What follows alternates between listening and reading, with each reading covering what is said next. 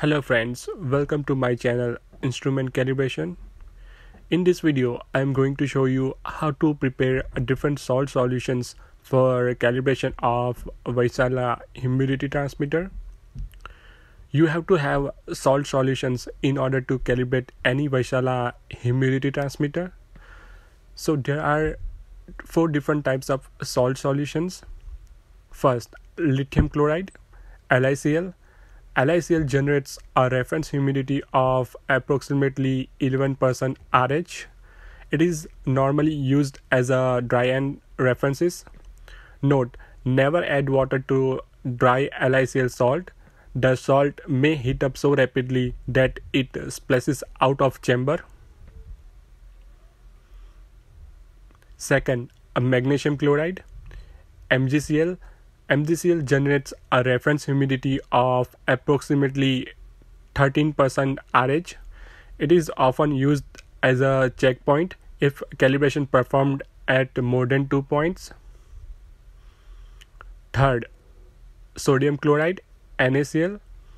NaCl generates a reference humidity of approximately 75% RH. It is used as a wet end references for probes measuring in application with uh, normal humidities. 4. A potassium sulfate. Potassium sulfate generates a reference humidity of approximately 97% RH.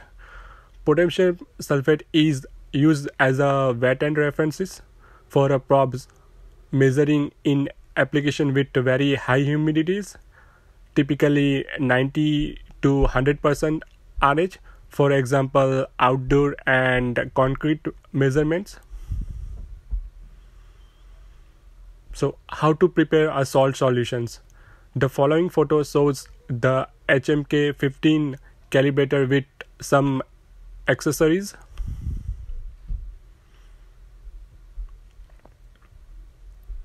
Step 1. Take the calibrator out of the box. Open the transit cover of the chamber.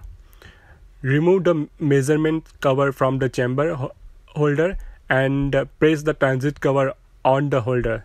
See figure.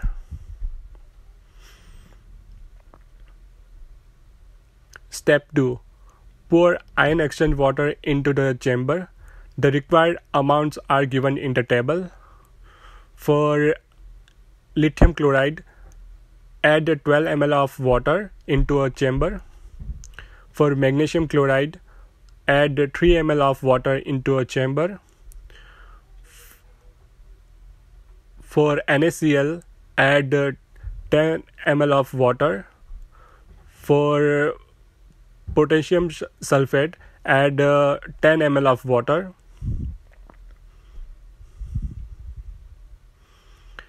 Step 3. Sprinkle the contents of salt package or measure the salt according to the table in a small quantities into the chamber and stirring constantly. When measuring with the measurement cup, make sure that the cup is clean and dry. Rinse and dry the cup after every use. Uh, for example, if you are preparing lithium chloride, add uh, 15 gram or 18 ml of uh, LiCl into the chamber.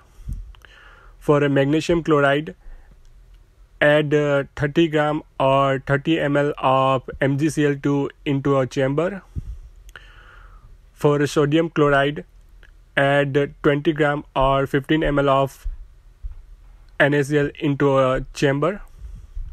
For potassium sulfate, add 30 gram or 20 ml of uh, K2SO4 into the chamber. Make sure that you sprinkle a correct dose of salt into the chamber and stirring constantly.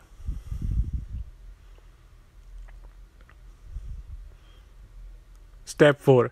When all salt has been sprinkled into the chamber, the saturated salt solution should have the ratio of 60 to 90% undissolved salt to 10 to 40% of liquid. Step 5. Close the chamber with the chamber cover. Step 6. Fasten the salt chamber on the holder in the base plate and close the measurement holes with the rubber plugs. The chambers can also be used as individual checkers without the base plate. Step 7. Write the preparation date on the sticker and mark the chamber with it. If you use a ready dose salt package, use the sticker with the batch code. Mark all the parts of salt chamber, chamber cover and the transit cover with stickers. This way, various covers and different salts do not get mixed. Step 8.